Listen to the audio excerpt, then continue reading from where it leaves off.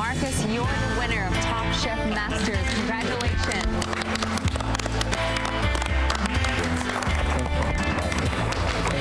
I'm going to show you an Ethiopian expression. When you have something to celebrate, you go like,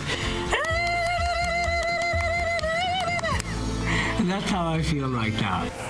That was a clip from season two of Bravo's Top Chef Masters in 2010 when Marcus Samuelsson was crowned the top prize. In the lead up to that moment, Marcus has had a long and impressive journey stemming back to his childhood in Ethiopia, and Marcus shares that story in his latest book, Yes, Chef, a memoir. Marcus, good to see you. So happy to be here. I'm a huge fan of the show and, and just excited to be here. Well, thank you. We love having you. We're excited. Can you do that thing again? The there it is. We did that last okay. night because we had our uh, book party, and it was about, you know, 300 people celebrating with us uh, from the Harlem community, so we are really happy. Well, you, you, mentioned the Harlem community. That's a great place to start. Your yeah. restaurant, Red Rooster, it's like the hottest spot in New York right now. But to you, it wasn't about creating a hot spot. No. You talk about being in the community and also of Absolutely. the community. What does that mean? Well, for me, you know, me and my wife we live in Harlem. We lived there for about eight years, and I felt like, you know, New York City, the greatest city on the earth, that sort of the incubator for so many other cities and ideas. But how come we don't have a place north of 96th Street that people can see, really come up to and celebrate? And just have normal behavior the way you would have south of 96th Street, you know? And I wanted to build something that was honoring the past, being here in the present, and peeking to the future. So farmers market and jazz, you know, just decent hospitality and creating a place where the people in Harlem felt welcome to. That's why why, you know, it's a, basically a walk-in, mostly walk-in restaurants. And we have, you know, you can be part of Red Rooster with cornbread and a beer, hmm. but also have a steak dinner, so it's both. And what has it meant to the community? I know you're, it's important to you to yeah. hire people who live in the neighborhood. What has it done beyond the walls of that restaurant? Well, you know, when you look at, I, th I think that, you know, the emerging markets for me are the inner cities in America. You know, yes, we talk about Brazil, China, and Russia, but we don't understand the cultures of those countries as well as we understand of our own inner cities of America. And the aspirations of inner city America just as high as aspirations of other other places. And but the reality is that a place like Harlem has about 19% unemployment, and uh, among African American men, 38%. So Red Rooster, restaurant that hires 110 people, 75% of them comes from that community. It builds aspirations, it builds the middle class, but it also says that, you know what, if you want to be a chef, if you want to be part of hospitality, if you want to be a server, it's right here. You don't have to go downtown to do it. And, you know, it's it's it's also the servers and the cooks that work there. If you're a guest, they're the one, they're the ambassadors of that community. You can ask them, where do I go after here? Is, is there another element uh, to this, what you what you're talking about now, the community and the restaurant within the community, in that uh, you know it's important in places like Harlem or Roxbury in Boston, South Side of Chicago, Absolutely. South Central in L.A. to have a place like Red Rooster and others. But is there another element to mm -hmm. it, and it is that when you go to so many parts of the inner cities yes. in this country in terms of what people eat. You're looking at the cholesterol highway. Yeah. I mean, just fast food joints and terrible food. Well, I would, I would say two things to that. The food chasm in this country is, is vast. It's a gulf. And Red Rooster and what we're doing represent an opportunity to sort of narrow that. You know, it's not rich communities have bad food too, but what they do have are better options, right? Yeah, yeah. If I go south of 96th Street, it's just as much fast food and junk as well. But there's also a farmer's market and there's also other options, right?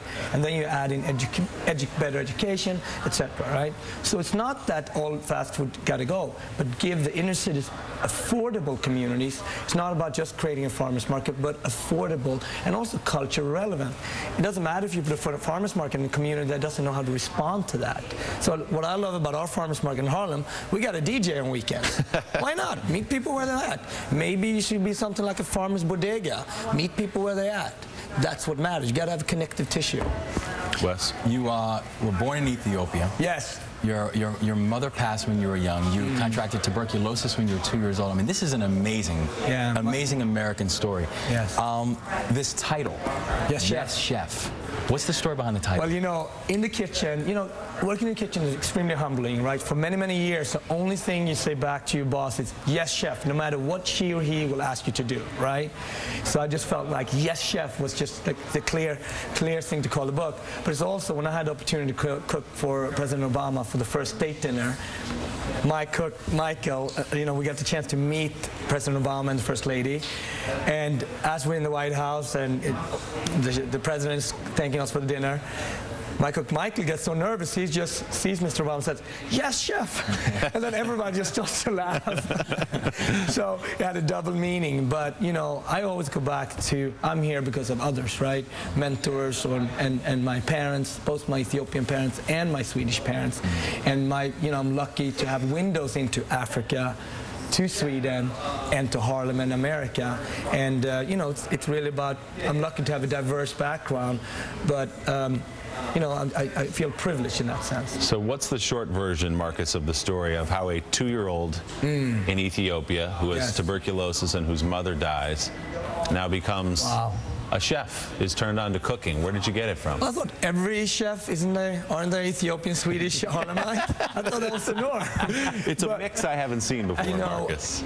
I don't know how my mother, my mother walked from this clay hut village in Ethiopia, from the countryside into a hospital in Addis.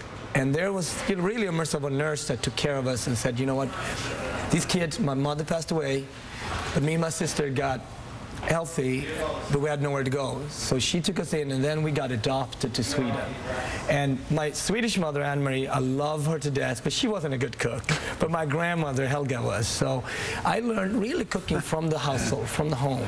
And when we had dinner at the Samuelsson's house in the 70s, you know, my auntie is Jewish, my cousins are Koreans, my parents are white, my sisters are black. So, you know, you're really looking at diverse American family essentially, but we were in Sweden, and and we ate you know, food is really a window into other cultures, and I learned that at the dinner table at home, and that got me to the kitchens in France, and and eventually to America. I had $300 when I came to this country. Wow. And I'm extremely fortunate to be part of such an open country. We always talk about, especially on this show, we talk about always what's wrong, right? But there's a lot of great things with this country. Absolutely. Still a line out the door of people want to come into America. Let's not forget that. The book is Yes, Chef. Yes, Chef. Uh, Marcus, you're a great citizen of this Thank city city and Thank of you. Harlem in particular. Uh, go pick up the, the book. It's a great story. Marcus Samuelsson, thanks, thanks so much. Me. We'll be back in just a moment.